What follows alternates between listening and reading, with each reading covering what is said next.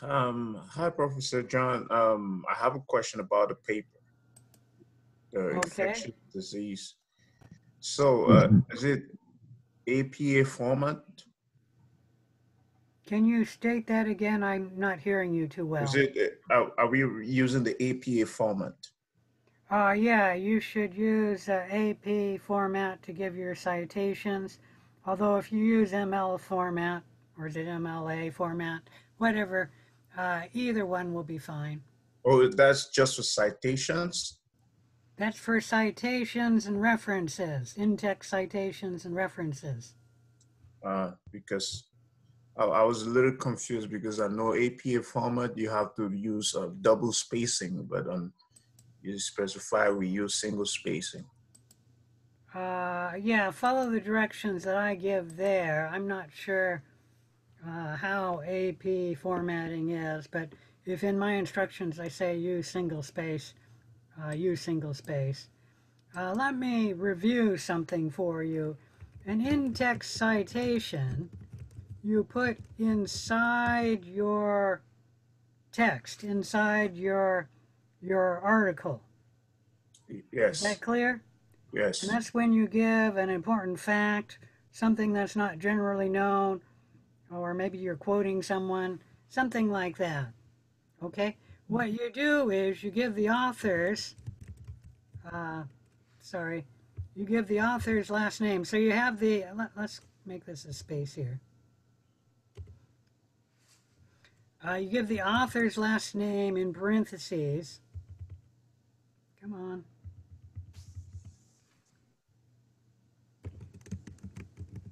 And then you go a comma, and then the year, and then parentheses. So that's all it is. If it's two authors, you give both last names, like Smith and Jones, 2020.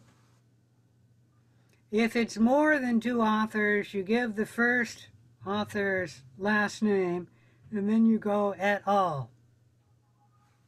So in that case, it would be Smith at all, and then go a comma, and then the year. Is that clear? That's all an in-text Yeah, citation is. And then at the end of your paper, you have a references, and these are your full citations. It should list all of the references you gave as an in-text citation,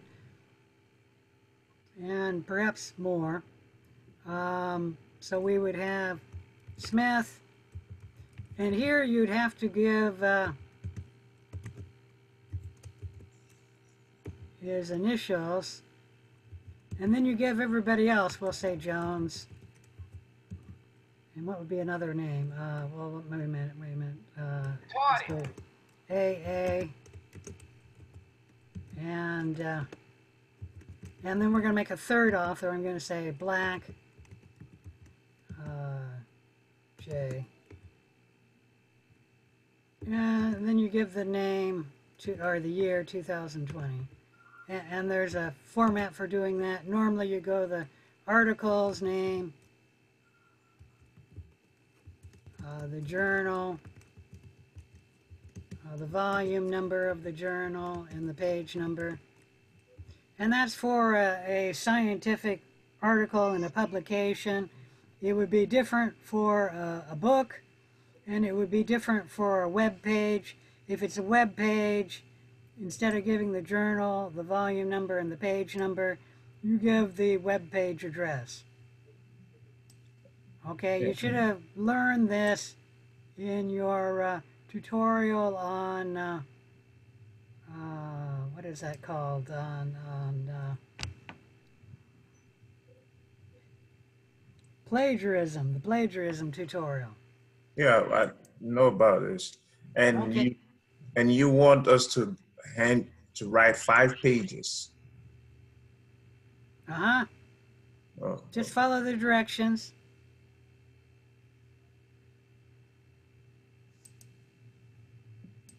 All Professor, right. I have a question since he was on that. If you're looking at something from CDC, for example, and there's not an author's name, but there's an editor's name, can you write that? There's an editor's name. Yeah, give the editor's name. If Yeah. you're on a page and it's not stating who the author is, sometimes it's really hard to find out. Like, uh, you can go, let me see if I can remember how to do this. Uh, page source. Anyone know how to do that in this?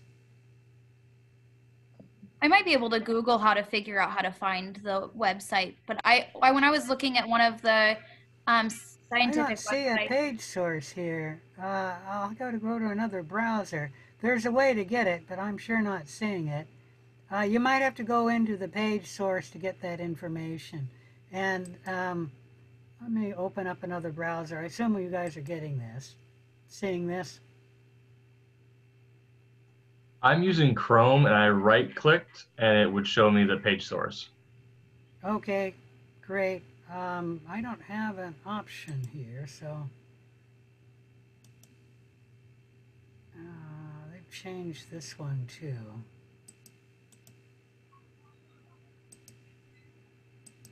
Anyways, um, do that. I'm trying to get to Chrome. Actually, we won't need that. Trouble is, I'm not sure what's going to open up here. It might be a blank screen. Ah. Yep. Um, let's go to Clark. And so you right click on the page or up on the top? On the page itself. I don't have it on mine, but there is a way to get the uh, source. And it used to be that it was up in the uh,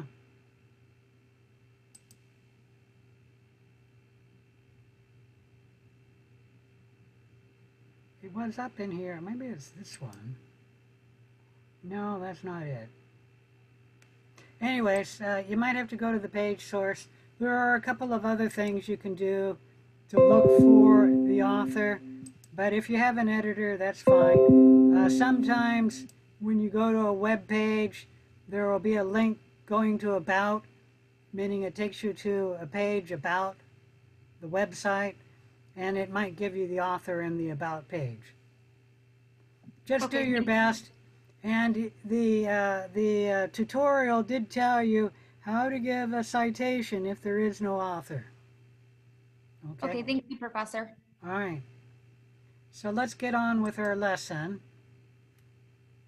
We're doing chapter 8 today, microbial genetics. There is no lab today, but do finish lab 8. You should be working on your unknown project, and you should also be working on your infectious disease paper, and that paper is due at 11:59 p.m. this Saturday, November 7th.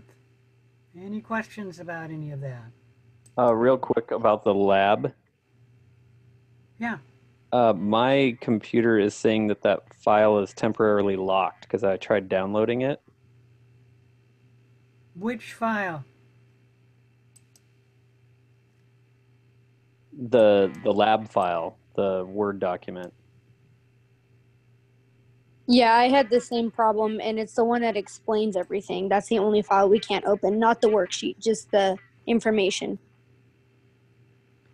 Oh, see, I couldn't I couldn't even open the worksheet one that we turn in. Yeah, I can't. Let me take a look here. This will take me a few minutes.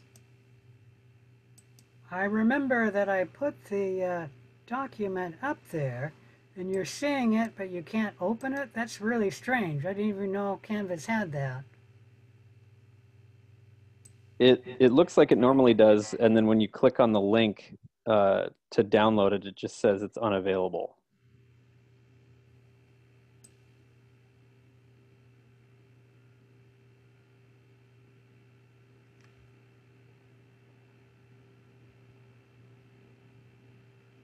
That would be difficult if you didn't go through my uh, discussion of the lab. So this link is the one that's a problem? No, I can I can open that part, but I can't open the work the worksheet lab. When I click on the worksheet lab eight, it won't let me download it. It'll go to the page like normal, but It'll go to the page. So you can see this. yes. And then when and I then you click on that, link. yeah, and then it says it's unavailable. Yeah, I just tried it right now and it was definitely the worksheet. It says unlocked and it won't let you download it to fill it out. I'm getting it. I'm not sure why you guys are having a trouble. This is it right here. Um,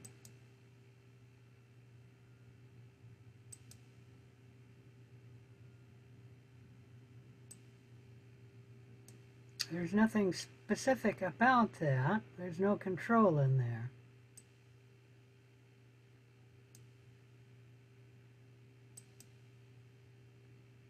Um, Yeah, the exact works the word the exact words it says is this file is locked.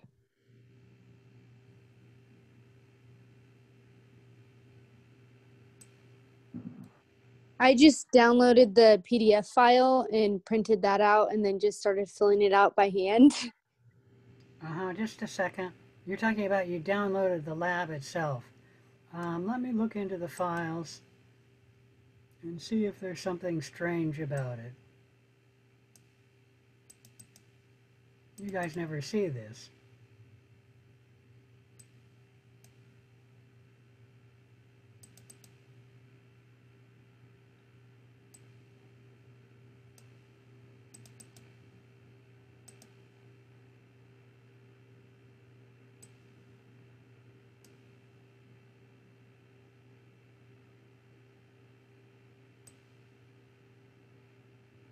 and I can't read it. I don't know if that's it or that's it. Uh, let's publish that. Come on.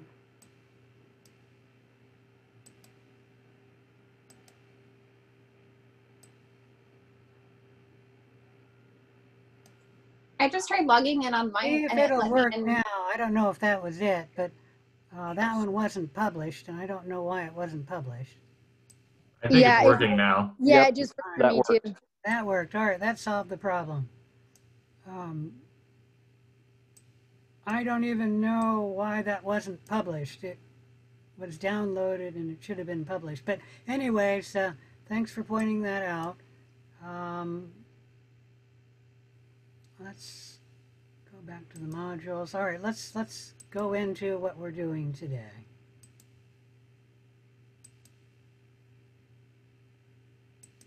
Let's close that. All right, so we were talking about protein translation, and this was the last slide that I had discussed. Any questions about that? If not, let's continue talking about protein translation. And we'll talk a little bit about uh, what we saw in the movie in greater detail. Uh, for your uh, recall, protein translation is when the message in the messenger RNA is translated to protein. So in the flow of DNA, the information in DNA goes to messenger RNA, which goes to protein. Uh, translation begins when the messenger RNA enters the cytoplasm and by the way, for prokaryotes, that happens immediately. As soon as the messenger RNA is made, it is already in the cytoplasm. And then the ribosomal units, there are two of them, combine on the messenger RNA, and then the tRNA comes in. So the ribosomes are made up of rRNA. The tRNA is, of course, made of tRNA, and the messenger RNA is made of messenger RNA. And so all the forms of RNA are involved in protein translation. And remember, the ribosomes also have ribosomal proteins.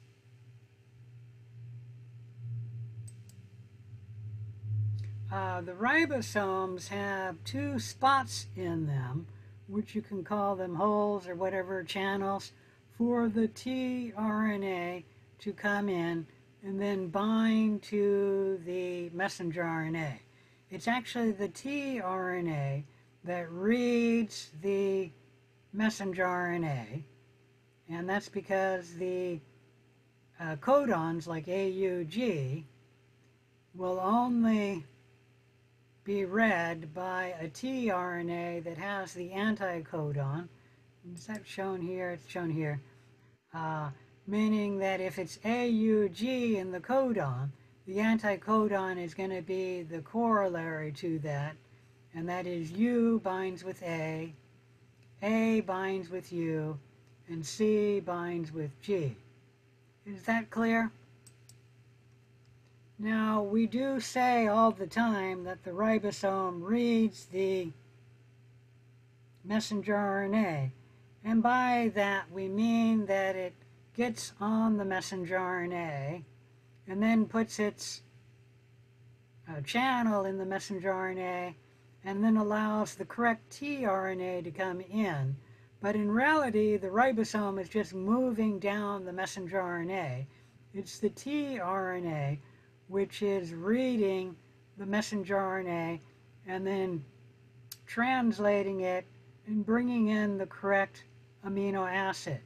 So AUG codes for methionine, and that's because the tRNA that has the anticodon A, excuse me, U, A, C has the amino acid methionine. So the tRNA reads the messenger RNA and then brings in the correct amino acid. Any questions about that? So the first tRNA comes to the first slot in the ribosome and then binds to the messenger RNA. And the binding is only by hydrogen bonds, meaning the anticodon binds to the codon by hydrogen bonds. Any questions about any of that? And then the second tRNA comes in the second spot in the ribosome, and its anticodon binds to the codon in the second position in the ribosome. And that is how the amino acids are brought um, brought in to translate the protein and how the codons are read, I guess. Then the amino acid from the first tRNA is removed from the tRNA and it's bonded to the second amino acid by a peptide bond. And so this now will be a polypeptide, or a real short one, because polypeptide is really more than two amino acids. But that's how the amino acids uh, get attached to a growing protein. Any questions about that? Um, in this slide, it's telling you the names of the channels in the ribosome. You don't need to know the one's called the P site, one's called the A site.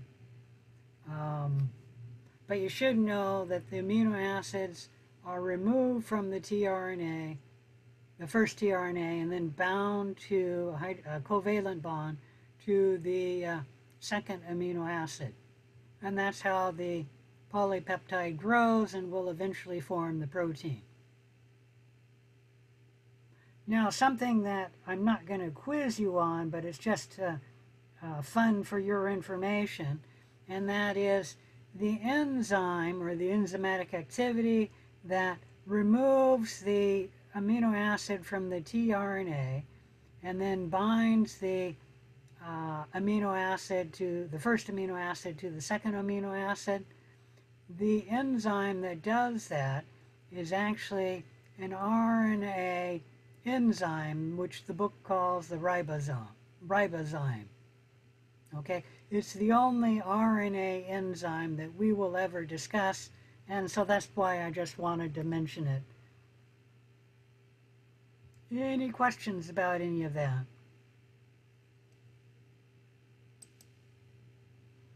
All right, then the first tRNA falls out of the the ribosome, ribosome, and it's probably because it doesn't have an amino acid attached to it, and so its um, folding pattern changes, and then it comes out of the ribosome.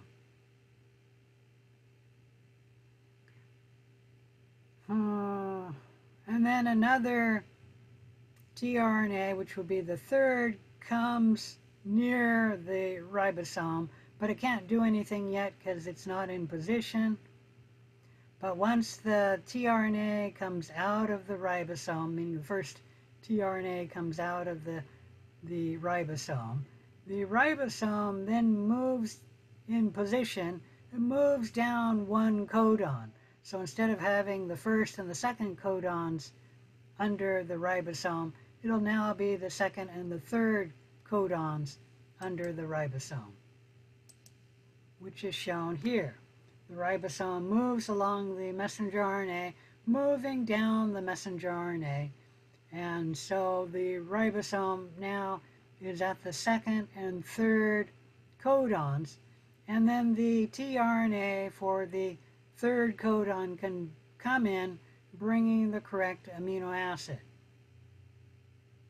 And then in like story, the amino acid from the second tRNA is uh, removed from the tRNA and attached to the third amino acid and the protein polypeptide grows to start forming the uh, growing protein. Any questions about any of that? So in like mind, the free tRNA falls out of the uh, ribosome and the uh, uh, growing polypeptide attaches to the new uh, amino acid. And in this one, it's methionine, so we have AUG again. And uh, th this way is how the growing polypeptide uh, grows uh, which will eventually keep adding amino acids and become the protein. And I guess I need to come back to this slide at the very beginning.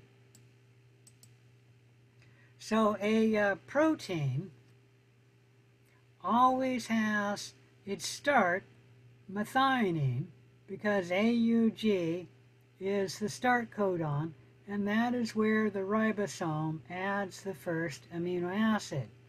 The ribosome does read the codons upstream of AUG, but it doesn't do anything with it.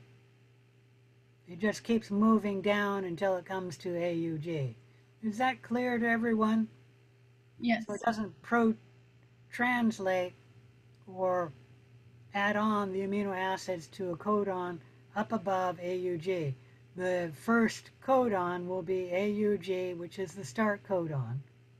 And if the protein doesn't want the amino acid methionine to be the start of the protein after the protein is made, it'll remove that methionine. It just cuts it off. And then the next amino acid will be the start of the uh, protein. Any questions about any of that? Okay, the point is all proteins, when they're first growing, we always start with, with methionine because that's the start codon. And that start codon does two things. It tells the ribosome start here and it also uh, brings in the first amino acid which is methionine.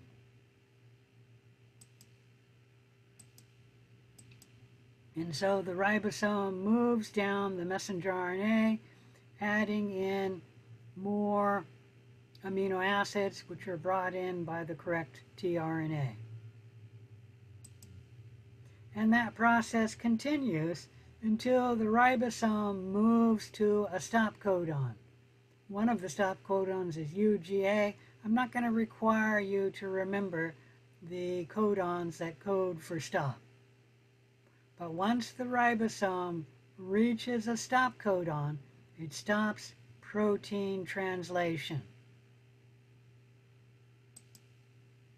Once it reaches uh, a stop codon, the ribosome actually falls apart, falls off the messenger RNA, the tRNA is released, and the protein, which is now a protein because all the amino acids have been added, the protein is released from the ribosome. Any questions about any of that?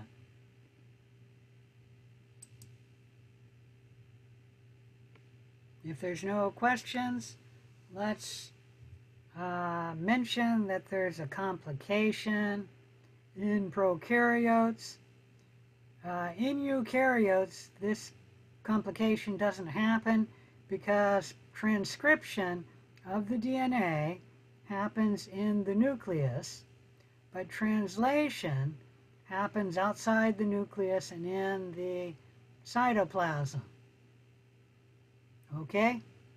Everyone clear on that? I only told you what happens. Uh, the complication with prokaryotes is uh, that the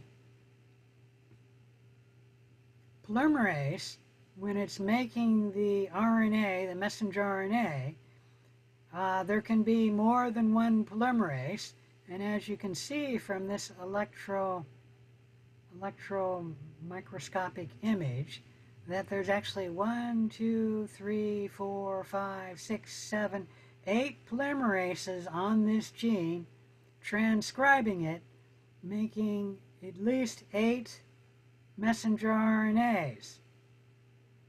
And that can happen in a eukaryote where one gene can have more than one polymerase in it and the polymerases are moving that way and that's why the longer messenger RNAs are on this side and they get shorter as you go down this way. And this is an artist's rendition of it down here, but that's an actual picture of it. Okay? And this complication happens in both eukaryotes and prokaryotes.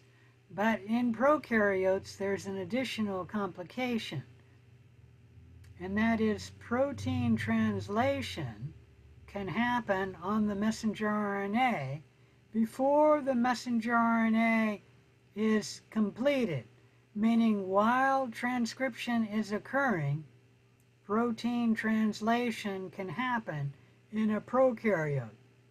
And why is that? Somebody hopefully can answer. Anyone want to guess?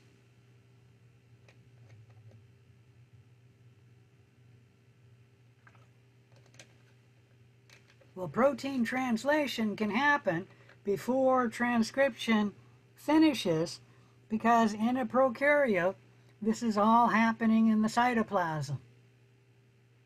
And so when we have the messenger RNA here, which is still being transcribed, the ribosomes can bind to it and start translating the messenger RNA. Is that clear? in prokaryotes, you can have protein translation happening before transcription finishes. And this is trying to show you it in a really, really bad way. It's not showing you the, the protein, but there's the DNA, which you can sort of see right there. And then these blue things are the polymerases, which might be that big thing there and there and there. And the polymerase is going that way and as you go down further it's a longer messenger RNA which is sort of that line there which you can sort of see. And let me see if I can blow this up. You can see it here but it's really faint. It's that blue line going down there that's the messenger RNA and it's longer for here than here than here than here and then these red things are ribosomes binding to the messenger RNA, and they're they are uh, translating this messenger RNA, and they're moving this way down the messenger RNA, meaning this is the start of the messenger RNA. And as you can see, there's more than one ribosome on the messenger RNA. But the complication is, is that uh, in prokaryotes, you can have protein translation occurring before transcription has finished. And this is not showing you the protein. Okay, just showing you the ribosome. Any questions there? Kind of complicated, isn't it? Yeah. Yeah, okay. There's another complication that doesn't happen in eukaryotes, but it does happen in prokaryotes. And that is uh, before the messenger RNA comes out of the nucleus, it is, uh, what's the word, uh, processed. And that's because in eukaryotes, when we transcribe the messenger RNA, not all of the regions of DNA code for the, the protein. And the regions of the gene that code for the protein we call exons. Introns are region of the gene that do not code for protein. And when the RNA is transcribed, it will transcribe both the exons and the introns. And the introns, the regions of the messenger RNA that don't code for proteins, the term is spliced out. It means cut. So this intron will be cut out, and this one too. And then these exons will be spliced together, joined together. And the uh, initial RNA transcript is processed. And only the processed RNA transcript uh, is allowed to leave the nucleus, meaning the pores in the nucleus allow the processed messenger RNA to leave, but they do not allow the RNA transcripts that have introns in them to leave the, the uh, nucleus. Any question there? Now, in bacteria, the genes do not have introns in them. And then there can be no processing because uh, the DNA is in the cytoplasm. And so when it's transcribed, it's immediately in the cytoplasm. And like I said, bacteria don't have introns, so that's not a problem anyways. But eukaryotes do, and there are vast regions of a gene.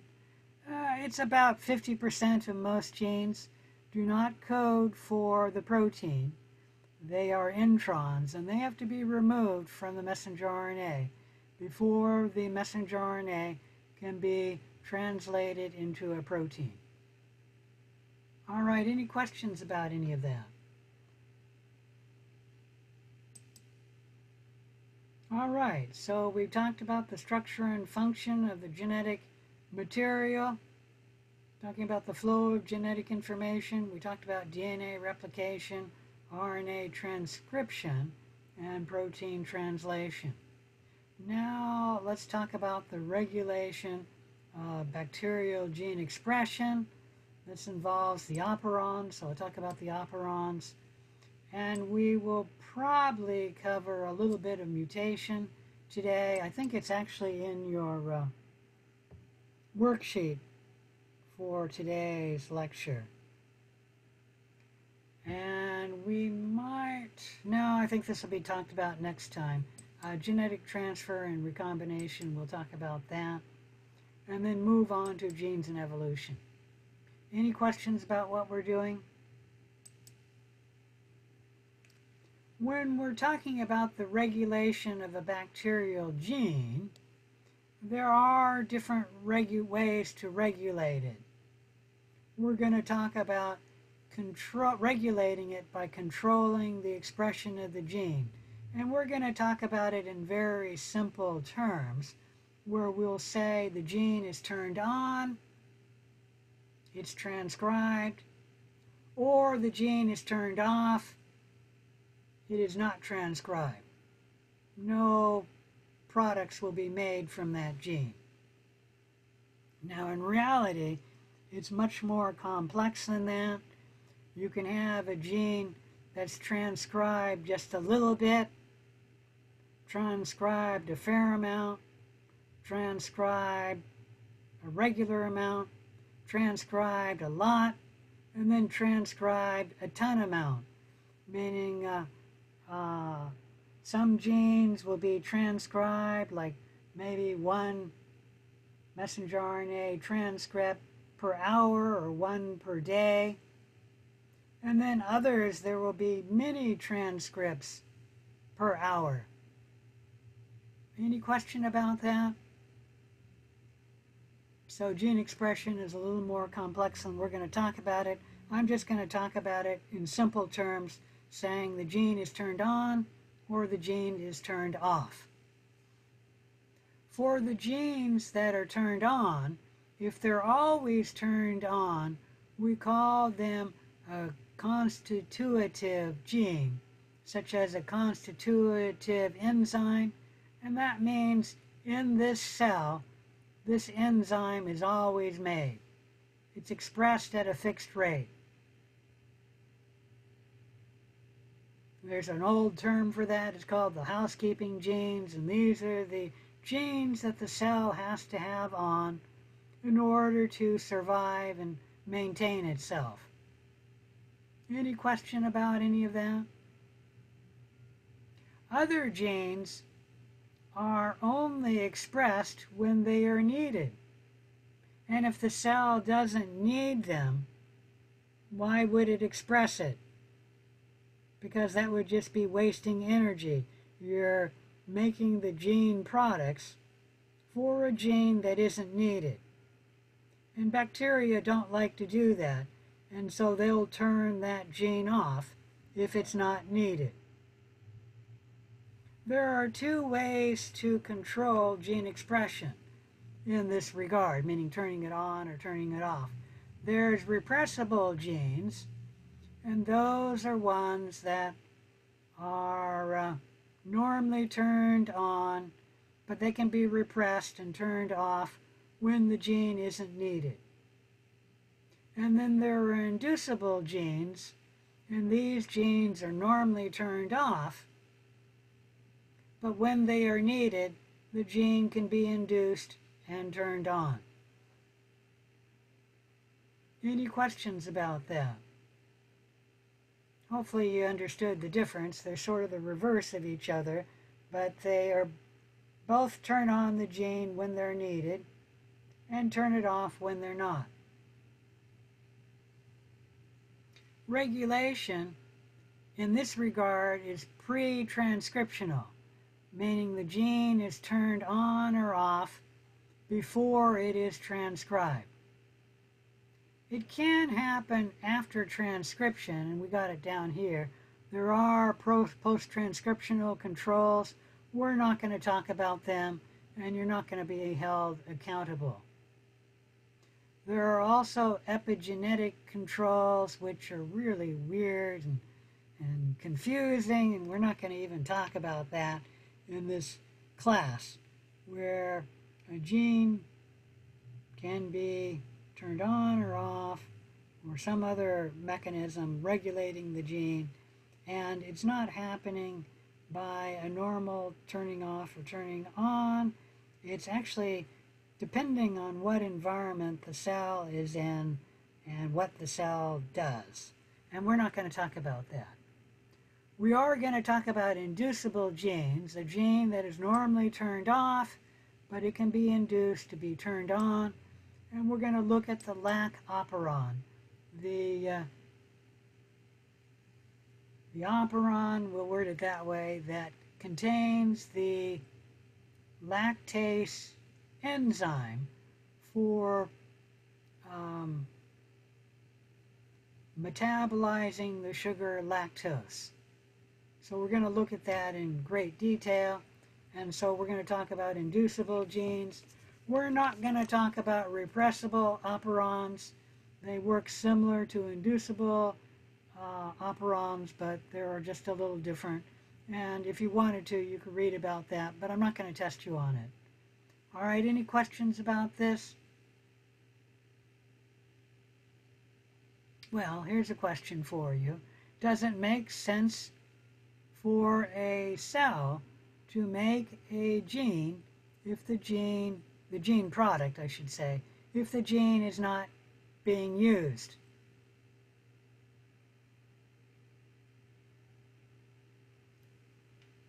No. Yes, the correct answer is no.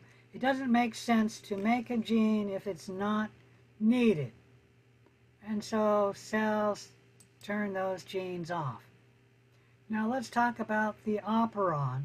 An operon is a model for explaining gene expression. An operon contains a gene of interest, and that we call a structural gene. So the lac operon contains the lactase gene. You hungry? Almost doing homework, buddy.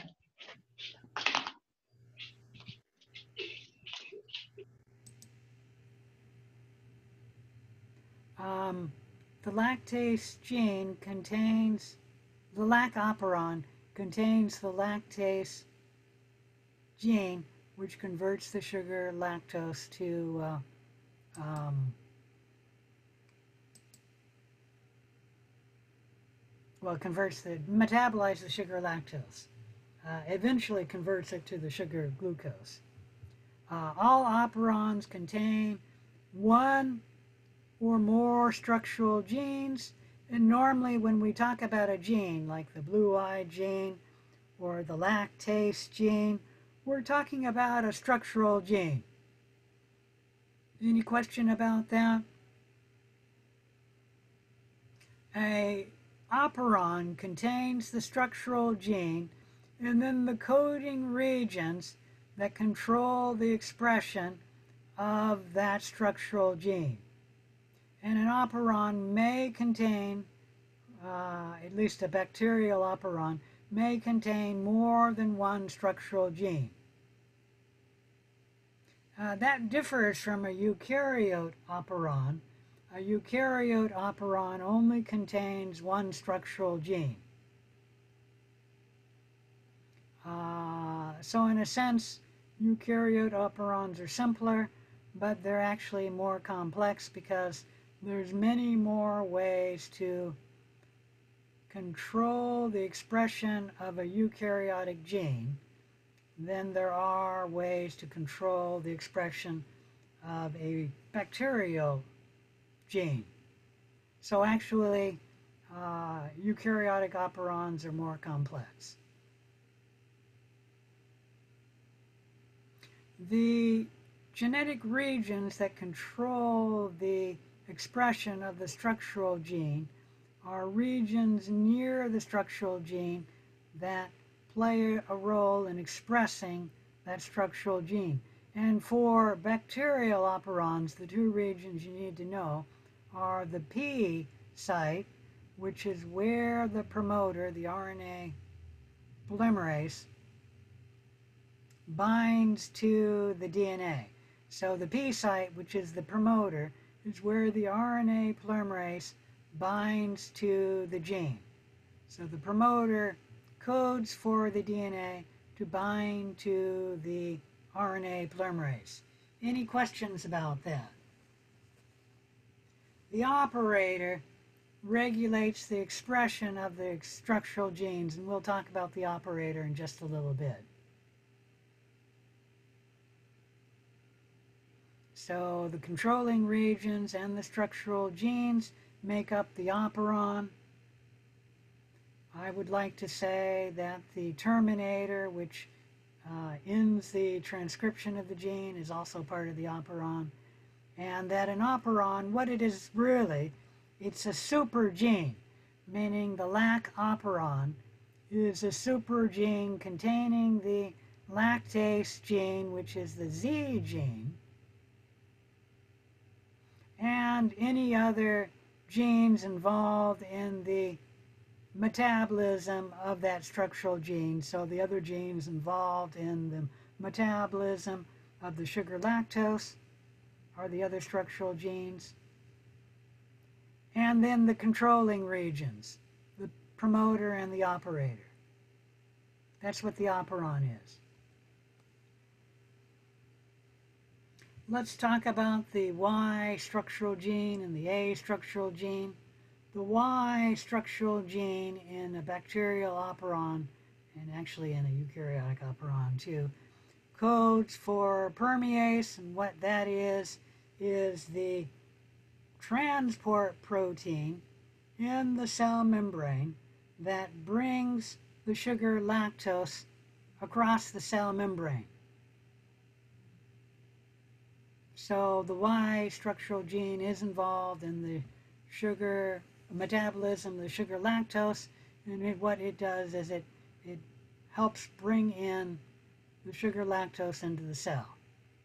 The A gene is a gene that uh, helps convert beta galactose, which when you cut the sugar lactose with the lactase enzyme, which is the Z gene, you get beta galactose and glucose. Well, the A gene helps convert uh, beta galactose into the sugar glucose. The point is that all of the structural genes that are in the operon are involved in the same metabolism and in the case of the lac operon, they're all involved in metabolizing the sugar lactose. Any question about that?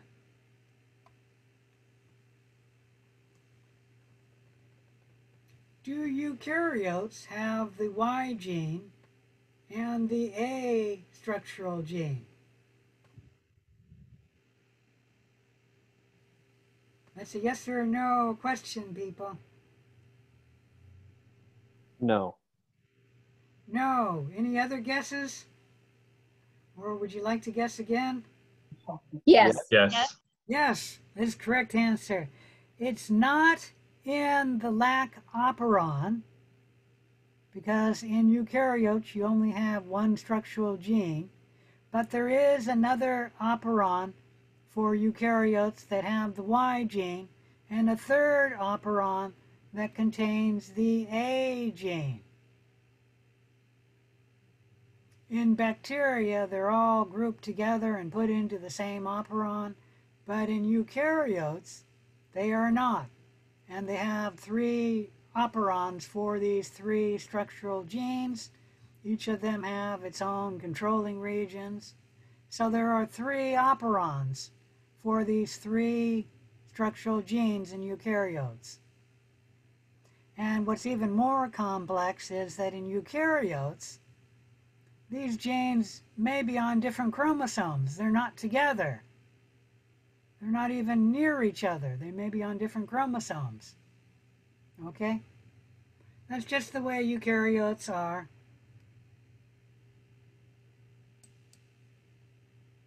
All right, so uh, regulation of gene expression can be from induction, which means the gene is normally turned off and has to be induced to turn it on, or from repression, meaning the gene is normally expressed, but it can be shut down. And we're going to talk about induction because that is the way the lac operon works. It is an inducible operon. Normally, what happens with the lac operon is it is turned off. And that happens because there's another gene. Let me see if I've got that in the previous slide. Yep, I do. It's right here. There is another gene which is a regulatory gene which is not part of the lac operon. It is in fact it, another operon and what it does is it makes a repressor protein, so it'll be transcribed and translated, making a repressor protein, which then binds to the operator on the lac operon. And it shuts down the expression of the lac operon when it binds. How does it shut down the expression? When the RNA polymerase binds to the promoter, it then moves down the DNA, transcribing the DNA into RNA. Well, when the polymerase runs into the operator, which is bound to the repressor protein, the polymerase stops. It can't move any further. And that shuts down the lac operon because the lactase enzyme will never be transcribed while the repressor protein is bound to the operator. And that is how the, the gene is turned off. In bacteria, like E. coli, uh, this happens. Why do you think E. coli shuts down the uh, lac operon? Why does it shut down the lactase gene?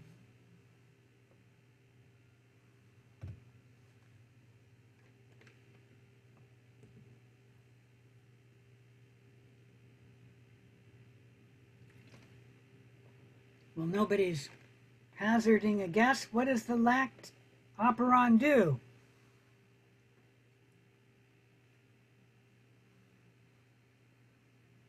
Come on, somebody should know this. What does the lac operon do? It turns on uh, lactase production. It, it uh, uh, turns on the lactase enzyme, which metabolizes the sugar lactose, right? Yeah. Okay. Uh, how common is the sugar lactose? Where do you find the sugar lactose? In milk?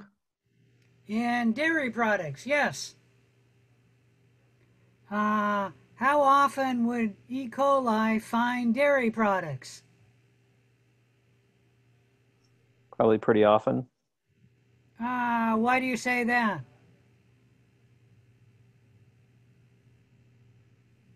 Well, I guess it could gr- it could grow in dairy products. Yeah, it can grow in dairy products, but we have E. coli, which can be anywhere in the world, right? How likely is E. coli going to be around a dairy product? Not very likely. Not very likely. If the E. coli is on your skin, it's not going to see the sugar lactose. If it's on my table here, it's not going to see the sugar lactose. If it's in the air, it's not going to see the the uh, sugar lactose. If it's on the ground, it's not going to see the sugar lactose. If it's on an apple on an apple tree, which are still around this time of the year, it's not going to see the sugar lactose. The only time it might see the sugar lactose if, if the E. coli was on a dairy farm. And then it's only going to see the sugar lactose around, you know, milk on the dairy farm. So even on the dairy farm, E. coli isn't going to often see the sugar lactose.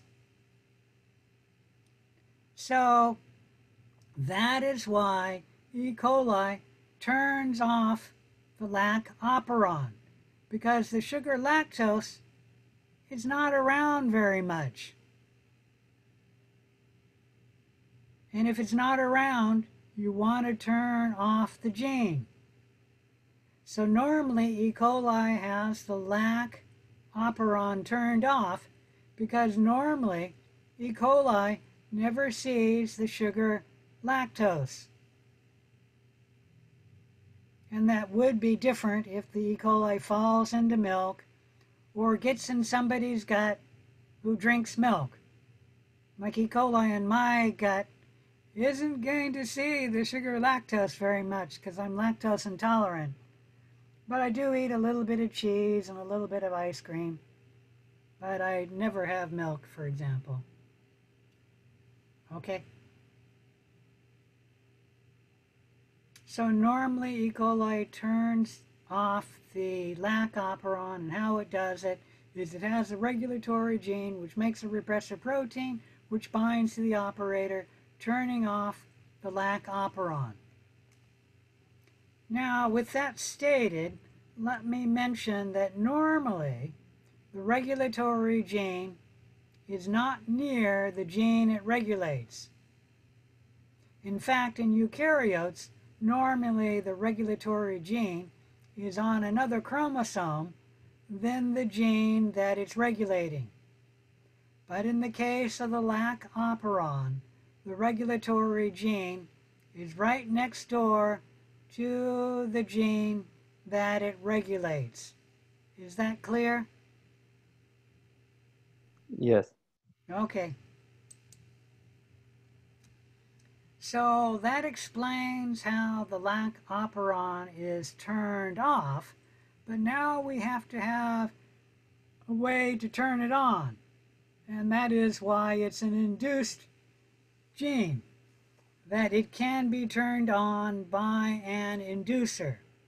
An inducer is just a molecule that turns on the gene. And in this case, it's the molecule that turns on the lac operon.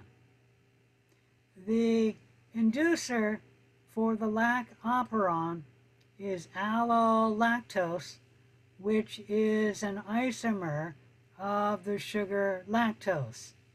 If you remember, lactose is a sugar which is a stereoisomer which is either left-handed or right-handed. I think it's left-handed, but I don't remember. And allolactose is the same sugar, but it is a opposite stereoisomer. So if, if one is left-handed, the other is right-handed. Everyone clear on that? Anyone confused about that? Yeah, I'm not exactly sure what that means. Um, it means that the allolactose has the same chemical composition and the same atoms as lactose, and they're connected in the same way. Okay? And in fact, it is the same shape, but instead of it being an exact copy, it's like a mirror image. And that's when they say one is left handed, one is right handed. And uh, when you look at yourself in the mirror, it's like one part of you is left handed and the other part is right handed. Do you understand? Yes, thank you. Okay. And that's the best I can explain it to you because I don't want to go into the chemistry. But it has to do with the three dimensional shape of the sugar. And, uh, anyways, allolactose is the inducer. Allolactose is around wherever lactose is around because all it is is a stereoisomer. And if I remember correct from my biochemistry, which I haven't had since I was in college, that uh, one stereoisomer with time will convert into the other stereoisomer. And I don't remember how that happens, but over time one would convert into the other. The important part is, is that whenever lactose is around, allolactose is around. And so if the sugar lactose is around, allolactose is around, allolactose will bind to the repressor protein. Which, where's my mouse? There it is. It will bind to the repressor protein and then inactivate the repressor protein. If the repressor protein is inactivated, it will not bind to the operator. And if the operator doesn't have the repressor protein bound to it, the RNA polymerase will bind to the promoter, move down the operator, and then transcribe the Z gene making the enzyme lactase, as well as the Y gene and the A gene. Okay? Any questions about that? There is one question, but uh, let's move on and I'll get back to that question. And that is you'll notice that in bacterial operons that if they have more than one structural gene, they will transcribe a messenger RNA that codes for three proteins. The lactase gene, which another name for that is beta galactosidase, I will always use the name lactase, which metabolize the sugar lactose into glucose and beta galactose. And then permease, the other protein, which is the transport protein, which transports the sugar lactose across the cell membrane and brings it into the cell. And then uh, transacetylase, which helps convert uh, galactose into the sugar glucose. Uh, what's unusual is we don't usually think of a messenger RNA coding for more than one protein. And in eukaryotes, each messenger RNA only codes for one protein because each structural gene has its own operon. But in prokaryotes, you can have more than one structural gene in an operon, in which case there can be messenger RNAs that code for more than one protein. Any questions about that part? All right. Well, what happens to the the repressor protein that's bound to the operator? How does that get inactivated?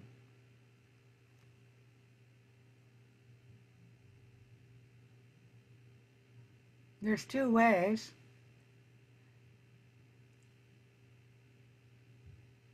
All right. The allolactose cannot bind to the repressor protein when it's bound to the operator. So that way is not correct. What happens is that that repressor protein binds by a stoichiomic reaction, meaning that every once in a while it falls off and if the repressor protein is inactivated because the allolactose is around, no repressor protein will bind to the operator and that will turn on the lac operon. And then the repressor protein that falls off the operator will bind to allolactose so it becomes inactivated. Meaning that repressor protein doesn't bind irreversibly to the operator. It will fall off eventually. And there's something else I need to talk about. This RNA polymerase, when it's stopped by the repressor protein, it doesn't just stay there. It's binding by a stoichiomic reaction, and every once in a while it'll fall off.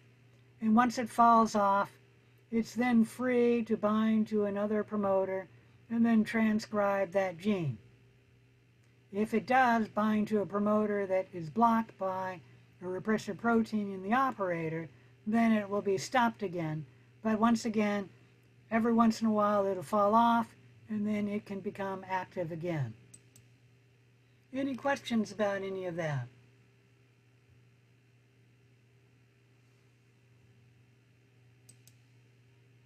If there's no questions about that, let's watch a little video on uh, the lac operon. Oh shoot. Let me go to a different browser and see if it works.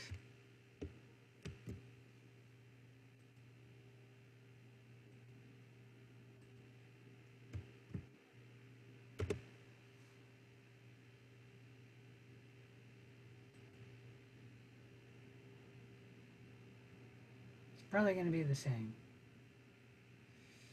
Uh, sorry, they've changed this website. Let me try the third browser.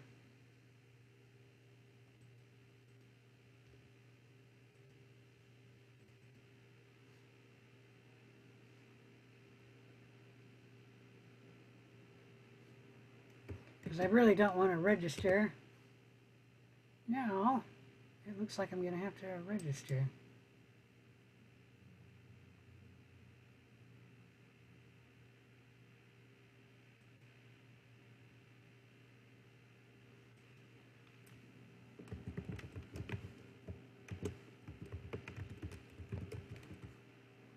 No idea what my password is.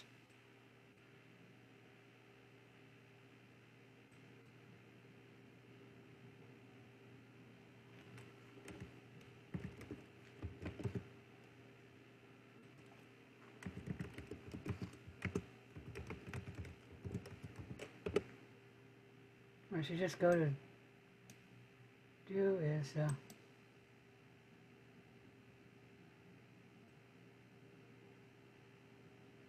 Oh, for heaven's sakes. Ah, this is taking too long. Let me go to uh, YouTube and see if I can find what we're looking for. Uh, what are we looking for? Bacterial operons.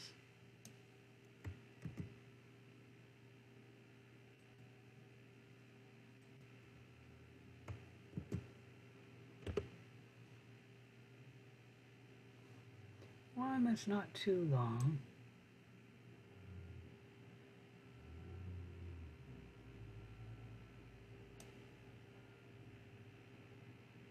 Let's try this one. Oops, I think I hit the wrong one.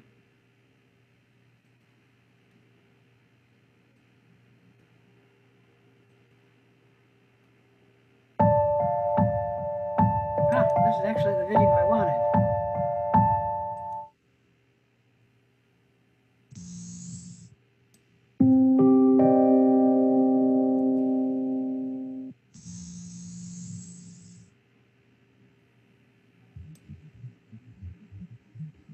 Coli lac operon is an example of an inducible set of genes. These genes are responsible for the breakdown of lactose into sugars used for cellular metabolism. This inducible system also involves bacterial DNA, a repressor, mRNA, and the sugar molecule lactose. This animation will only focus on two of the three proteins encoded by the lac operon, beta-galactosidase and permease. Gene expression can be induced or turned on when a specific inducer molecule appears in a cell.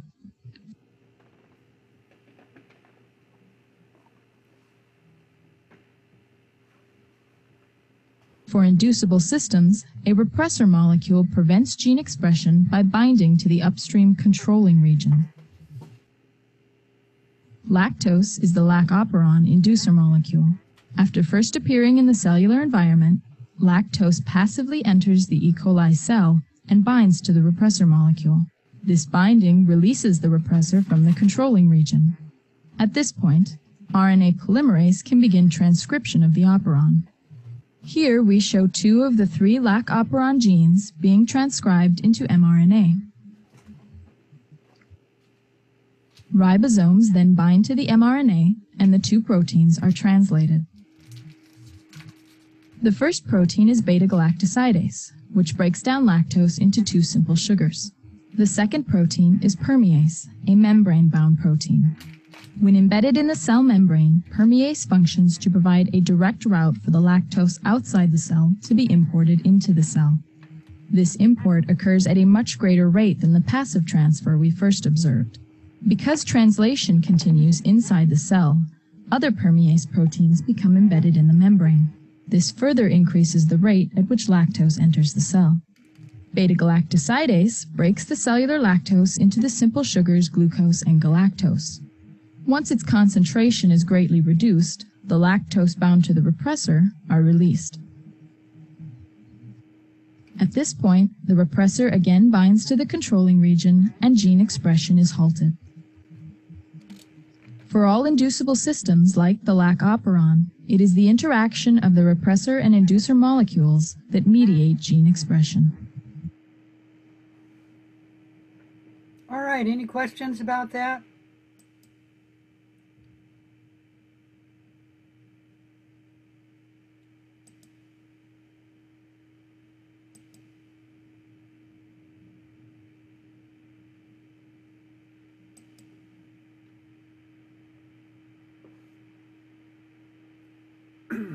So regulation of gene expression can happen by induction or repression.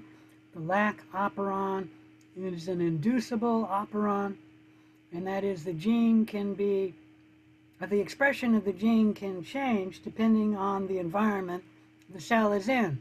If the cell is in an environment that has no sugar lactose, the lac operon is turned off normally because of the repressor protein. But if the cell is in an environment containing the sugar lactose, allolactose will be around and that will bind to the repressor protein, turning on the expression of the gene. Any questions about any of that?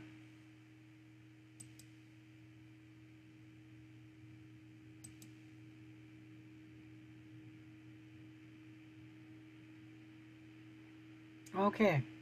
Um,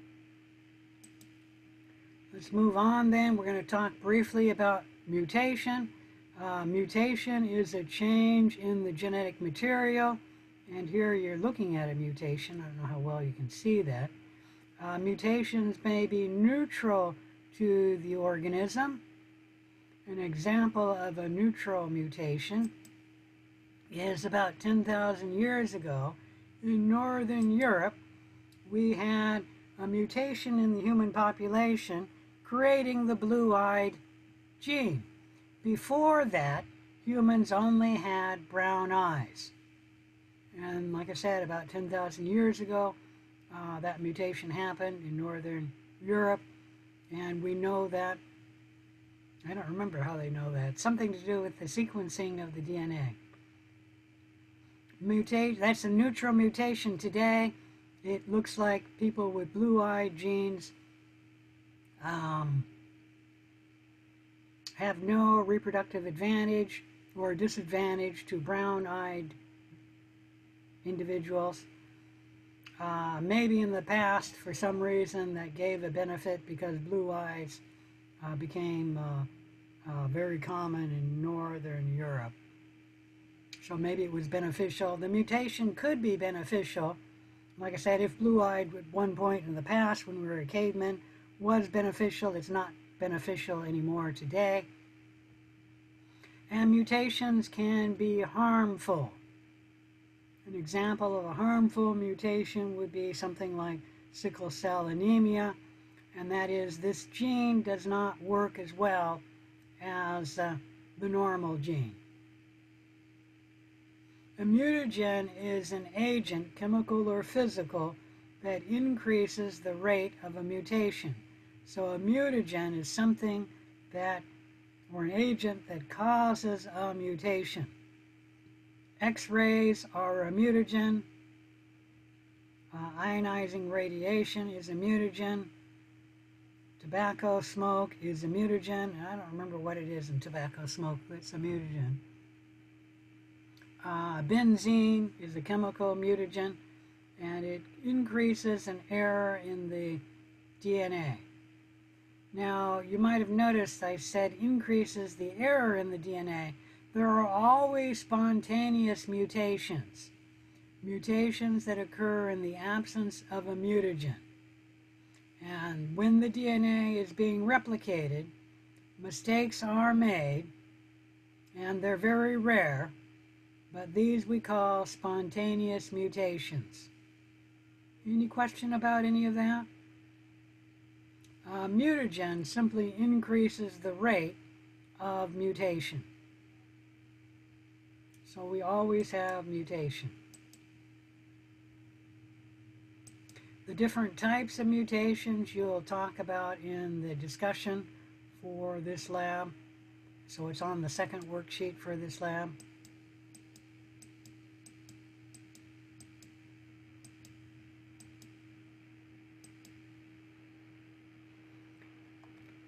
The frequency of a spontaneous mutation is it happens once when every 10 to the ninth base is replicated. So meaning when a DNA polymerase is replicating bases, it makes a mistake one time in 10 to the ninth replicated bases. So not very often, but uh, we have more than 10 to the ninth uh, bases in our genome.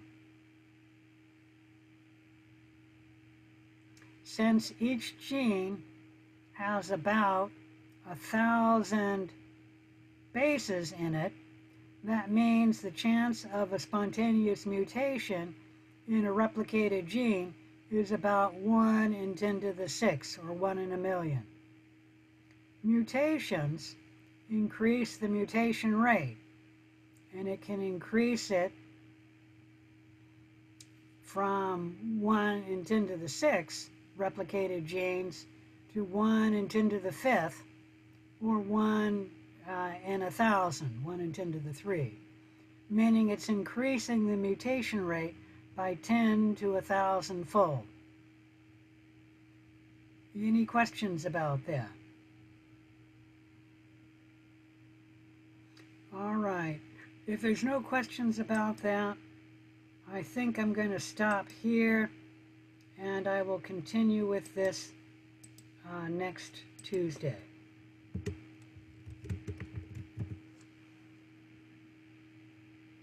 If there's no questions, I will see you in the lab. I'm just going to be there for questions. If there's no questions, I will end the lab at 645, but I will be there from 630 to 645. And if there are questions, I will stay in the lab until the last question is answered. All right? Thank you. Thank you. right, I'll Thank you.